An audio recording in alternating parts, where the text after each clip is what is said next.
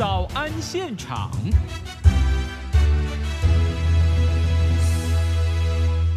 您现在所听到的是中央广播电台《早安台湾》，我是张婉如。在今天呢，有一个案子要审理啊，就是关于虐猫的案件。听众朋友，在上个星期，我们在新闻里面的早报头版头条曾经跟大家报道过这个案子，就是今年度有虐猫前科的一名台大学生陈浩洋，八月份的时候又再度被别人发现虐猫的状况，而且猫呢。斑斑可能已经是凶多吉少了。那在十六号今天上午，台北地方法院呢就要开庭审理虐猫的案件。陈同学他是累犯，而再次的犯案，也引起很多人的关注。说怎么会这样的一个堂堂的大学生，特别是台湾的第一学府的大学生，怎么会做出这样的行为？这种虐猫者他的心态是什么呢？我们在今天节目现场访问到的是中正大学犯罪防治学系及研究所的副教授戴生峰戴老师，戴老师您早，早安，我们早，各位听众朋友大家早。虐待小动物真的是不可取啊！我们看到这一次是虐猫，但是再往前推一点，台湾也有现役军人虐待小狗致死的状况，这些人到底在想些什么啊？呃，两个案子其实虽然他们造成的结果是一致的，但是可能在那个呃他们的动机上面有有些许不同。那如果就现役军人虐狗这个的话，可能是那种对于生命感的不尊重，或者就上呃来自于上级说好，那你就让它消失吧。这种可能有一些误解或者是生命感不尊重的这个部分存在。那我们也发现，就在军中那种比较阳性阳刚的环境里面，如果发生虐狗这种事情，以我个人在当兵的时候，尤其那个年代法律并不完整的情况下，可能不会有太多的。戒心呢？那这样军队又是封闭的嘛，他觉得反正不外流就好，就天桥的外流，这个是需要再教育的，因为这种生命权的尊重是很重要的。那但是这个虐狗的这件案子，其实后续他并没有呃，这一位现役军人并没有后续的其他的凌虐动物的状况，在案件之后继续做嘛？到目前为止还没有，对，还没有，对，不知道会不会啦。那至少目前为止，但是像这个台大学生这件事情，令我们最震撼的就是，其实我相信台湾社会大部分，即使包括比较呃严格的网络上。上面的一些舆论，大部分都会在第一次案件，就是这个大橘子案的时候，其实已经采取一个相对包容，而且比较呃愿意原谅的这种社会氛围。我相信其实已经渐渐在形成，大家也愿意给他机会。那但是没想到，这样在几乎不到半年内的时间内发生第二次，而且手法一致，我觉得这两件事情的连结才是值得大家去探讨的。是动物的生命权，是这个诚信大学生，难道他不知道吗？应该是讲他因为。知道，所以他才会做这件事情。这是我个人的推断，也因为自己知道说生命是不会再回来了，嗯，所以他才会使用这一种。剥夺另外一种生物的生命，作为满足他自己遂行某自己的某一个行为最终手段，因为他最终的目的就是要剥夺对方的生命。那他已经完全的，因为他回不来嘛，所以所有的事情其实可能都有转圜的余地，但是只有生命这件事情就是没有转圜的余地。所以我们看到，至少目前的报道是说，他第一次虐杀大橘子这只猫咪的时候，就引起轩然大波。今年五月被依照违反动物保护法被起诉，结果之后。产生了报复心态，是继续搜寻网络上热门备受大家 对名猫斑斑，这是一个报复的心理啊。是。所以我觉得，其实从大橘子本身就是名猫，然后呢，到了斑斑更是，就是说，其实这两只猫咪也许在爱猫界来讲都是非常知名度很高的一些呃对象啊。嗯。那我们换一个角度来讲，会不会是其实可能没有办法深入的，就像因为我们也没有办法跟陈浩洋先生接触到，会不会他本身在于除了因为他本身又有乔生的这样的一个身份呢？除了人对动物之外，会不会也有隐含着他在台湾求学？或者是在台湾生活上面的挫折，所而这两只猫咪被投射出了这些挫折的问题点。嗯，可能他本身在台湾，也许三炮，我们曾经听过他啊。其实就算侨生朋友们，他们中文再怎么流利，其实惯用语或语法上还是跟台湾会有习惯性用法不同。那会不会产生了一定的一些挫折感的累积？而这个累积到了某个程度的时候，猫咪是一个他觉得很好下手的对象，进而产生了这样的暴力行为。嗯，所以这个陈同学他是来自于澳门的侨生，在台大读书，但是。这几天其实也有一些媒体在讨论，是说它会不会最后产生更大的一种伤害现象，就是甚至伤人的状况呢？好。这个其实如果说从呃世界上几个比较，尤其我们这些邻近国家几个比较著名的犯罪案例来讲的话，这个是我们值得探讨以及担心的部分呢。嗯那我们也知道，就是说呃，当然这个是不确定的，因为澳门没有相关的法令，所以在陈同学回到澳门行亲的那几个礼拜的时间内，据说澳门也发生了三起猫咪离奇死亡的案例啊。那因为他们没有办理，所以也自然不知道说这个彼此的连接是如何啊。那但是这个在邻国日本就曾经发生过，在一九九七年，那有一件非常著名的案子，就是所谓的神户少年杀头的案件呢。那这个案件其实它非常的惊悚，就是有一个呃智能不足的小孩，然后十岁的小朋友被另外一个十四岁的，其实也是国中生而已，然后呢杀害以后，并且把他的头割下来放在学校的门口，这样子的一个非常惊悚的案例。对，那警方在破案之后呢，会呃。就是去对这个十四岁的加害者进行呃呃访谈啊、了解啦、征询之后，才发现这个小朋友他从很小，大概在国小的后半段，大概五年级左右开始，就对于破坏小动物这件事情很有兴趣。那他会去收藏小动物被肢解的遗体。那或者就是他会去凌虐小动物，比方像比较一开始简单的，可能就把兔子的耳朵打结啦，类似这种的简单一点的。那到后来可能就会拿剪刀去把一些小动物剪坏，那或者就是说用开水去去烫鱼啊什么，就是做一些大家想就平常你不会去想到，平常我们会。会对动物这样，很多时候都是为了要吃它们，就是说，OK，这时候我们可能会取得营养，所以我们可能要去杀一些生物。嗯，但是这时候我们都还是强调一种人道的处遇法嘛。哦，对对对。那但是其实这个小朋友他就是日本这个案子，那后续其实有很多的家长在日本那个年代，很多家长就跳出来说：“哎，我家里好像也会这样，也有些时候也会发现小朋友对于一些小生命的破坏，然后或者把一些呃毛毛虫剪成两半啦之类。那很其实这些案子绝。大部分都是属于恶作剧的，好，我们可以这么说，百分之九十九都是恶作剧的。但是，一旦进到所谓的哺乳类，或者就是跟人相近的生物的时候，比方说宠物，或者是平常会出现在人类周遭的这些生物，对他们下手的时候，这时候我们就必须要去有很敏锐的触感去侦测到这个危险性。那在日本发生的这个呃最比较悲剧的结果，就是最后造成了呃至少是两死，然后至少有四伤这样的一个惨剧。本来是凌虐昆虫类之类的，然后最后进入到哺乳类，这个会连接到人类吗？这性其实是存在的，我们必须这么说。只是就是说，它呃，因为我们人类随着自己的大脑的发展，我们的自制能力越来越好，那也随着法律知识的增加，我们也知道这些东西是不可以做的。随着这一些外在控制跟内在自我成长所带来的变化，我们可以渐渐脱离这样子的一个比较属于对于生命的负面的做法。那可能未来会变成以利益取向，比方我们前阵子有听过什么把鲨鱼的鳍割下来丢回去这种的，嗯嗯，对，这个当然也是残害生命的一种，只是它变成利益取向了。那这一些青少年会我们会发现，这些残害动物的大部分都是属于比较前段的，也就是发展前期的青少年这个阶段，他们可能在这个部分来讲，自己的自控能力并不是很足够，那自己对于自己的这种暴力冲动无法控制的情况之下，可能就会转往弱小的对象发展。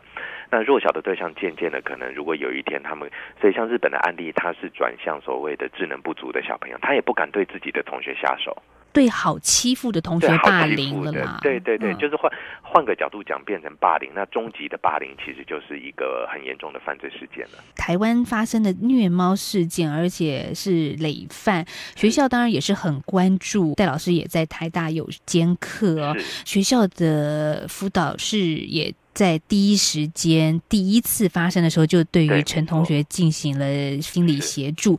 可是让人讶异的是，好像没有什么太大效果诶，因为我看到媒体报道说，对陈同学的咨商是今年八月一号，结果隔天。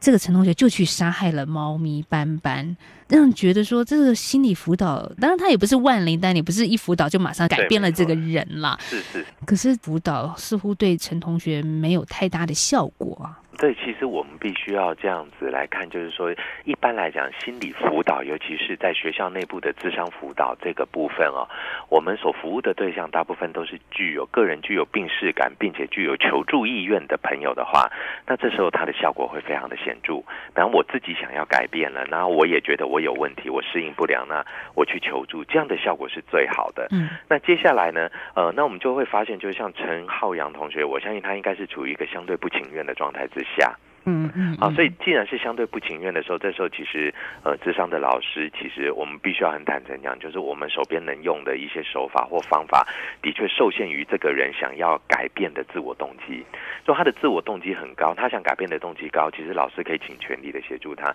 如果他今天动机不高，他就是一副就是有点像是演出，或者反正我就是消过，把这个过消掉就对了的那种态度的话，其实老师也会有无力感。那所以回过头来想，我们。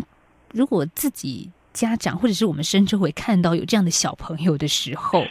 我们该怎么办呢？因为当然会引发这样子比较不当的直接性的联想，可是我们至少希望在初期的时候就能够协助这个孩子，不要再继续凌虐小动物的状况啊。呃，我们会这么建议，就是说，呃，其实，呃，这些凌虐小动物或者是肢解遗体这件事情，一般来讲，大部分会比较常发生的时间点，大概会落在就是，呃，这个。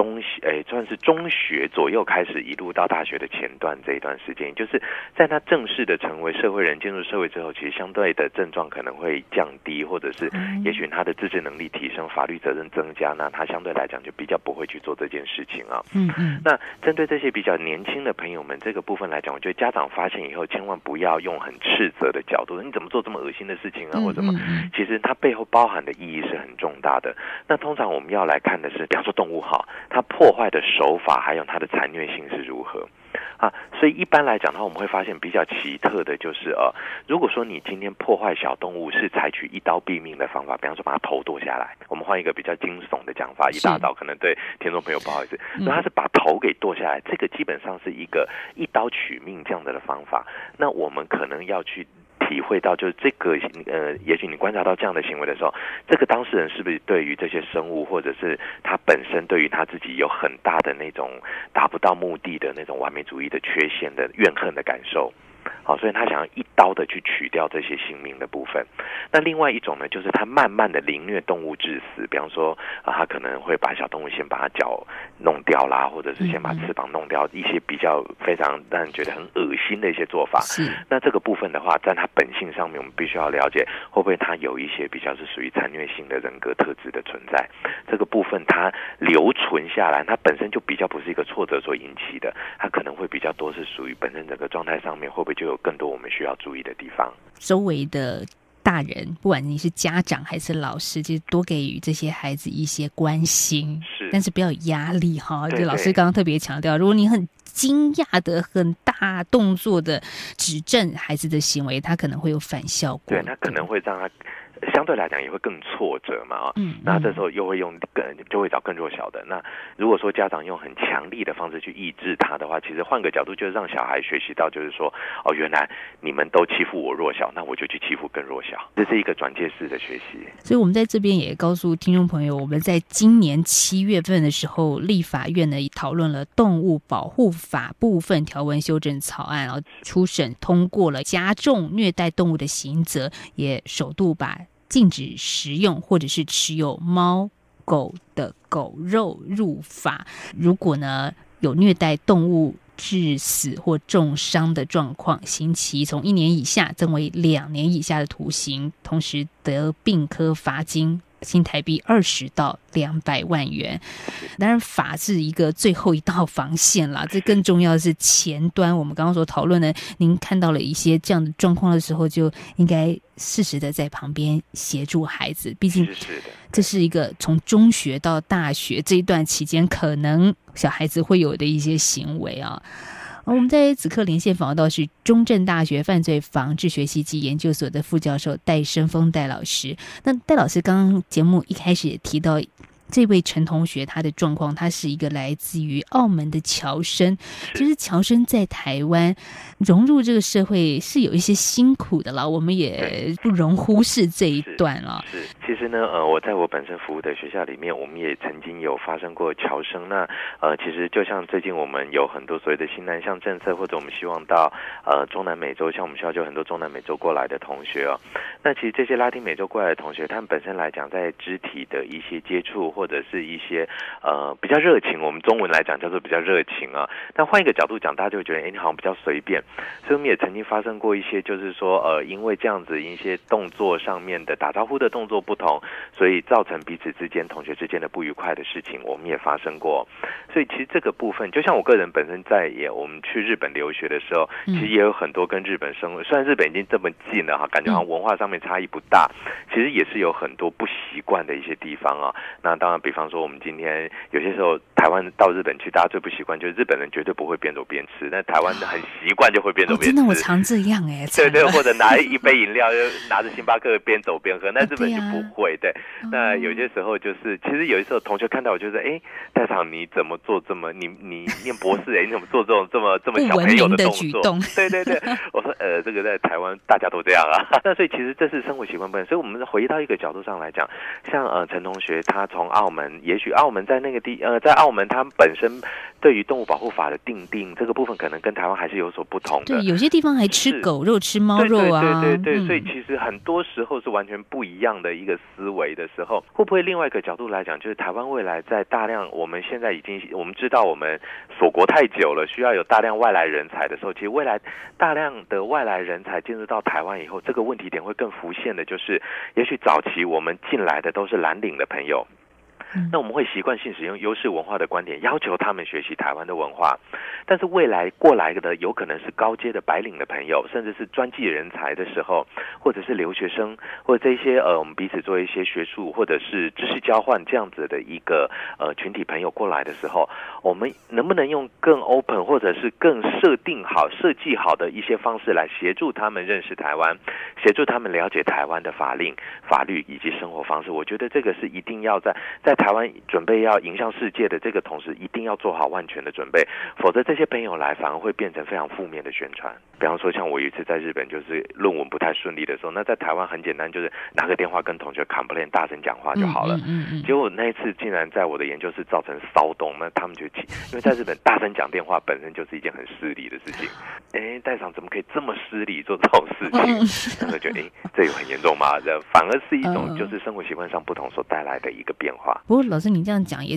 只是让别人的对你的观感不好。可是呢，那个陈同学他做的是去伤害到另外一个生命，这就又让台湾的民众觉得无法忍受了。对，其实我会觉得，就是陈同学的心理状态。当然，虽然他是澳门朋友，可能大家会就赶快把他遣送回去啊。我觉得这个不能这样去想，因为台湾本身自己应该也有类似的朋友们，只是也许没发现，或者他的身份的关系，大家觉得比较一般来看。但是面对动物生存权，或者面对这个人类的我们的一种对于动物的保护或人类的一个主权利主张这个部分，其实我们都还有很多的教育跟很多要同理心的部分要走。不过很多时候有我我时常在上课举一个笑话的例子，蛮有趣，就是大家如果说像现在夏天晚上被蚊子吵的时候很不舒服，对不对？嗯嗯。那这时候我们就会拿电蚊拍去电蚊子。嗯，对啊。好，那电蚊拍电了蚊子以后，通常电一下。其实蚊子大概就死掉了吧，或者是昏了在那边挣扎之类的，我们大不了把它捏死而已，对不对？是是。但是，哎，宛如你来想一下，如果你电蚊子，你电到它以后，你会不会一直电一直电，而且手越捏越用力，